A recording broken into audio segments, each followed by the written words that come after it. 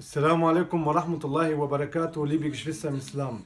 Ist Pokémon Go haram? Denn der eine sagt ja und der andere sagt nein. Was ist jetzt nun richtig? Ich zu meinem Teil kann keine Fatwa geben, aber ich möchte euch hier eine Nasiha, einen Ratschlag mit auf den Weg geben und zwar, dass ihr dieses Spiel löscht. Ich persönlich habe es auch heruntergeladen, ich habe es auch gespielt und ehrlich gesagt hat es viel mehr Schaden als Nutzen. Jetzt könnte man sagen, ja gut, aber durch das Spiel laufe ich jetzt mehr und Laufen ist gesund. Okay, jetzt könnte man sagen, während des Spiels höre ich mir einen Vortrag an. Okay, aber ich glaube nicht, dass du während des Spiels, wenn du dir einen Vortrag anhörst, dich wirklich auch auf den Vortrag konzentrieren kannst. So hast du eigentlich auch nur ein einziges Nutzen davon und zwar die ganze Bewegung. Doch schauen wir mal, wie viel Schaden dieses Spiel bringt. Und zwar begibst du dich wegen dem Spiel zur Fitna zu versuchen. Und es reicht schon aus zu sagen, wie viele Unfälle es in der letzten Woche gibt, allein wegen diesem Spiel. Gewaltige Unfälle. Und dieses Spiel, Allah Allah, meiner Meinung nach, glaube ich sowieso, dass dieses Spiel verboten wird.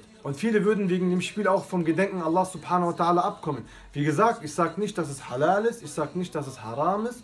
Ich sage, als Ratschlag von mir an euch, dieses Spiel zu entfernen. Es gibt bessere Spiele, Denkspiele zum Beispiel. Und hiermit schließe ich dieses Thema ab und kommen wir zum nächsten Thema.